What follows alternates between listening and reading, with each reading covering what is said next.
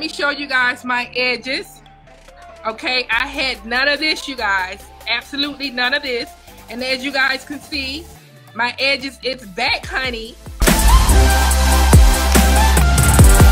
My edge control, repair, so for you guys who are losing your edges, baby, this here will actually help you grow your edges back. I've been applying the Miracle Grow Edge Control here, and I have not been applying anything here.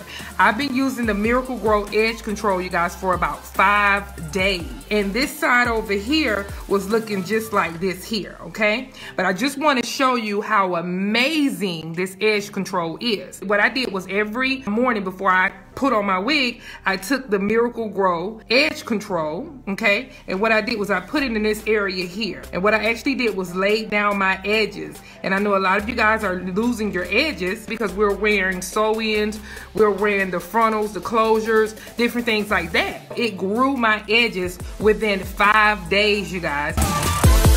You go to the website or you can call 912-264-9242.